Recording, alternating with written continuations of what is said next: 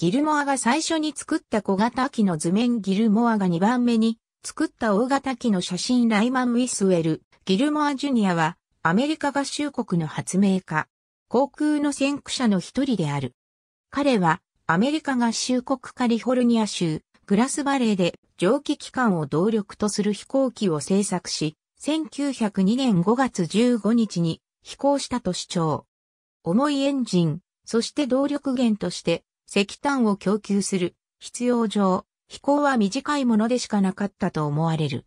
彼の主張の潜在的な証拠である機体は、1935年の火事で消失した。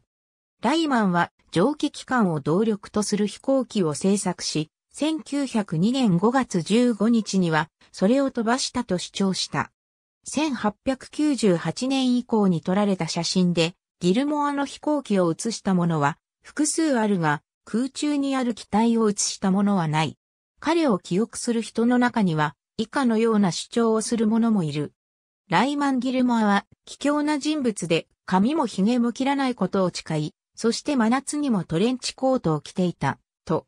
ライマン・ギルモアはサミュエル・ラングレー、ライト兄弟をはじめとする他の航空パイオニアたちと接触があった。1902年、ギルモアは蒸気機関に関する二つの特許を取得している。彼は、例えば回転式のスノープラウなど、別の分野でも発明をしている。